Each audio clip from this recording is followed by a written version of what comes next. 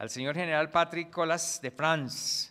eh, gran colaborador y amigo en esta segunda versión que somos socios estratégicos con Coyes, una empresa, como ya lo han mencionado, que ha tenido un papel fundamental en poder no solo crecer esta feria, sino también eh, poderla colocar eh, internacionalmente como una figura muy importante en la, en la región y otro de nuestros actores principales en esta unión estratégica, por supuesto, es la Corporación de Alta Tecnología, Codaltec, en cabeza del señor general Julio Alberto González Ruiz, eh, quien eh, pues nos explicó eh, cuál es la importancia de que Codaltec esté presenta, presente en esta organización como líder, como cabeza del Ministerio de Defensa. Agradecer al señor embajador de Francia. Me reuní con él el lunes pasado y obviamente se excusó, pero pues gentilmente nos envía este video que acabamos de, ver, pero nos eh, tiene una representación muy importante. A su señora Coronel Rodríguez, agregada militar de Francia, eh, recientemente llegada a Colombia, pero llegó con, con mucha energía para colaborar en todas las relaciones con el Ministerio de Defensa la vemos permanentemente en nuestros pasillos haciendo coordinaciones, reuniones y particularmente ha sido muy entusiasta con la feria de Expo Defensa.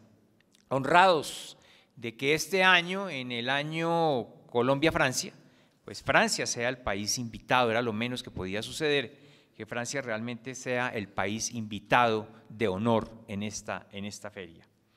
Creemos que esta sexta versión de Expo Defensa pues va a mostrar un crecimiento muy importante si las comparamos con las cinco anteriores, no solo en número de participantes, de países participantes, de stands, sino en las delegaciones oficiales y el nivel de las delegaciones oficiales que participan este año en Expo Defensa. Solo para mencionar algunos, ministros de Defensa del Salvador, el director de CIBAT de, de Israel, de Alemania, el segundo comandante del ejército, el que viene en representación de todas las Fuerzas Armadas, del Salvador, el jefe del Estado Mayor Conjunto y el comandante de la Fuerza Aérea, Guatemala viene el comandante de la Fuerza Aérea, Bolivia el comandante del Ejército y el comandante de la Fuerza Aérea, Guatemala el jefe del Estado Mayor de Defensa y el comandante de la Fuerza Aérea y el comandante de la Marina, se vienen los tres comandantes de Guatemala, de Honduras viene el comandante de la Fuerza Aérea, Paraguay, comandante de la Armada, jefe del Estado Mayor de la Fuerza Aérea. De Uruguay, el jefe del Estado Mayor de Defensa. Vienen representantes de alto nivel de Argentina, Ecuador, Israel, Italia, México, Brasil, China, Chile, Costa Rica, Estados Unidos, España, Perú, Reino Unido y por supuesto la delegación que ya mencionaron que vendrá de Francia. Eh, estimamos, eh, a pesar de ser una feria cerrada, una participación alrededor de 13 mil visitantes 13 mil visitantes que van a estar los tres días compartiendo con nosotros y paralelo a partir del segundo y tercer día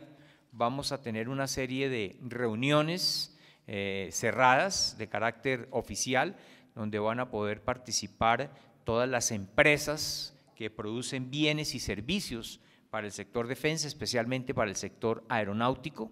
y viene una representación de varios países eh, porque queremos definitivamente fomentar, motivar la industria colombiana en defensa. Con eh, la empresa Airbus estamos haciendo un tamizaje de las empresas que pueden estar en capacidad de producir bienes para el sector aeronáutico y en el marco de esta Expo Defensa, pues vamos a tener algunas reuniones con ellos para consolidar esa, esa unión tan importante, estratégica, que debe existir entre el sector privado y el sector defensa. Es así que pues tenemos muchas expectativas, eh, creemos que eh, en este momento Colombia es un país referente en temas de defensa y seguridad y va a ser el marco en el cual nosotros podamos, como dijo el señor general González, compartir las experiencias de Colombia, poder aprender de los otros países y que los otros países también nos vengan a contar eh, cuáles son los últimos avances en esta importante industria que tanto aporta al desarrollo del país.